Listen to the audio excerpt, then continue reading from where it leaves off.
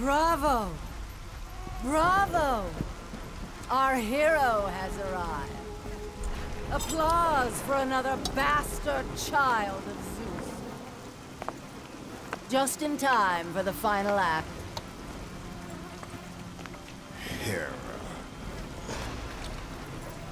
You look terrible, dear.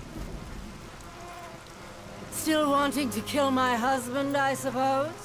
You know I seek revenge on Zeus. Can't say that I blame you.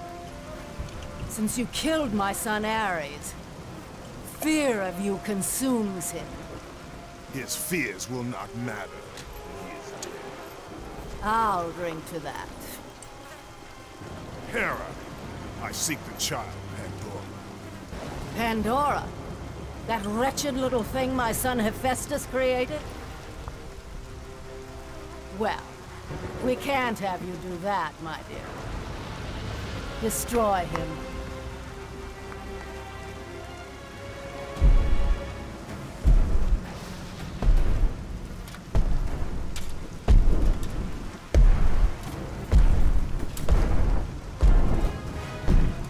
Hello, brother.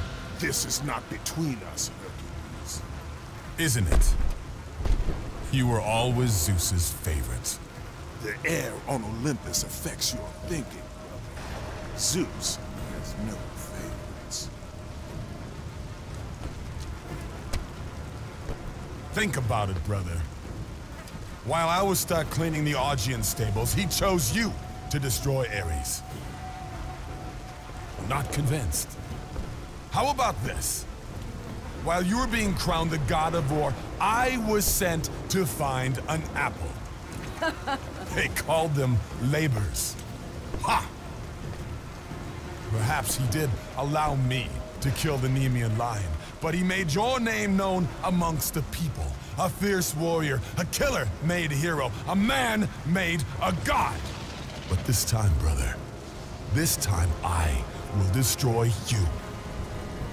Call it my 13th and final labor. Soon I will become the god of war and claim the throne for myself. You aspire to be an Olympian, yet there reigns envy. We'll see about that.